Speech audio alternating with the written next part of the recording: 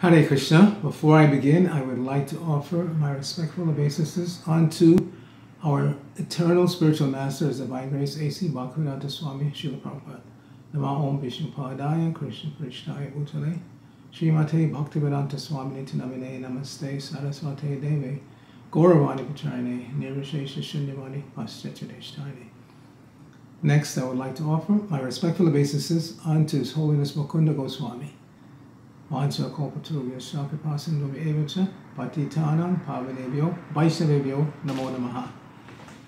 On this occasion, the 80th anniversary of Mukunda Maharaj's appearance in this world, I would like to just share uh, my respects and a few thoughts uh, that arise from my interaction with Mukunda Goswami. He is obviously an ISKCON icon. He met Srila Prabhupada before Srila Prabhupada founded his International Society for Krishna Consciousness, and he was very instrumental in helping Prabhupada to do so.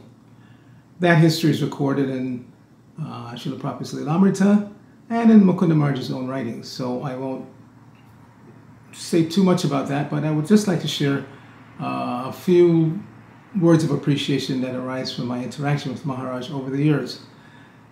First is that he, I think of him as the great communicator because he's shown by his personal example how to communicate with devotees and with the world at large and the importance of such communication.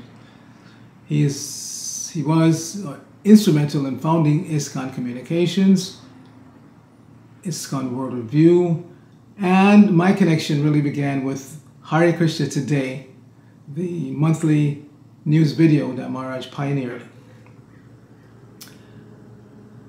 I would also like to share just a few uh, stories that I've heard from Maharaj that are very um, meaningful and uh, that we can learn from. Both of these incidents occurred in London. The first was that of a devotee who went to the dentist accompanied by another devotee. And while waiting uh, for his turn in the chair, this devotee was obviously a bit nervous. He was chanting uh, japa very loudly. And the other devotee who accompanied him um, asked him maybe to chant not so loudly. But the first devotee responded that, well, Prabhupada said we should chant loudly. So after they got back to the manor, the incident was brought to Prabhupada's attention. And according to Mukunda Maharaj, Prabhupada said famously, one should chant loud enough to hear oneself, but not so loudly that one disturbs others. And the other anecdote that Maharaj shared uh, was about him witnessing one devotee, I forget the devotee's name, who was preparing to go to um, deal with some government uh, business related to ISKCON. And the devotee had dressed very nicely with a suit and tie. And so Mukunda Maharaj was appreciating that and kind of, I guess, wondering. Uh, but then Prabhupada said, again famously, that first one should dress and then address. Anyway, over the years, Maharaj has shown by his uh, personal example and the importance of properly interacting with devotees and with the public. He's shown by his own example that gentle behavior is very, very important. It's natural for him. Prabhupada said once that Mukunda is very gentle. And uh, my, in my experience, that is so. He deals with devotees in a very gentle way, even under trying circumstances. And of course, he deals with the public in a very gentle way.